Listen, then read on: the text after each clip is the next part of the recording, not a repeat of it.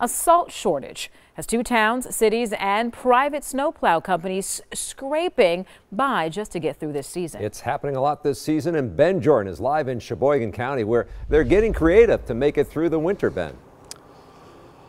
Charles and Shannon Sheboygan County is down to about a third of its supply. They were told if they were to run out, it would be very difficult to find more salt, so they're making some adjustments.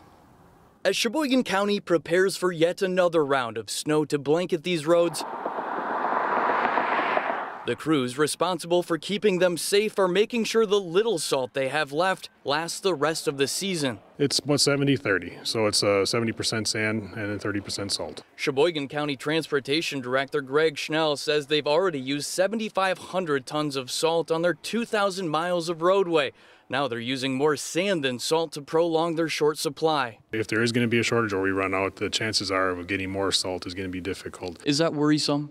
Yes, it is. I mean, obviously, we can't control the weather, and uh, we want, and our part of our responsibility is to provide safe roads. It isn't just municipalities.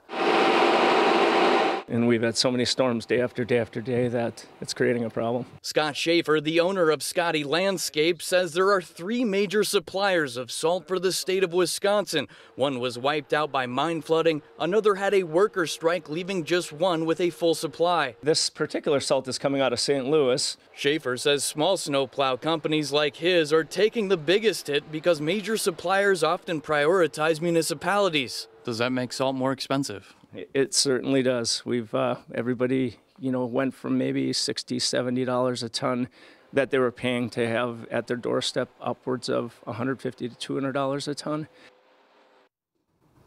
Down in Milwaukee, the city says they have guaranteed delivery, so no worries about a salt shortage there. Live in Sheboygan County, Ben Jordan, today's TMJ4. Yeah.